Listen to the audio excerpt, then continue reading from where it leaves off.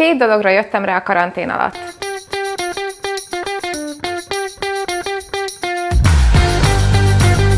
Az egyik, hogy még az egyfajta környezettudatos minimalista életmódon mellett is valószínűleg vettem néha olyan dolgokat, amikre nem biztos, hogy szükségem lett volna valójában. Most viszont tényleg a legeszenciálisabb dolgokra költünk, és rengeteget spórolunk, valamint óvjuk a földet. A másik, hogy ezer lehetőségünk van arra, hogy az otthonunkból is óvjuk a környezetet, nem csak a csomagolásmentes vásárlás az egyetlen út. Vegánul étkezünk, palántázunk, és csomó mindent házilag állítok elő. És te, a te életedet miben változtatta meg a karantén? Szerinted milyen lesz az életünk a járvány után? Írj, fes, rajzolj, vagy jázd el!